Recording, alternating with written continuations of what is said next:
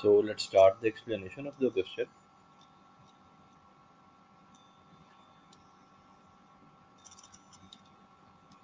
So in this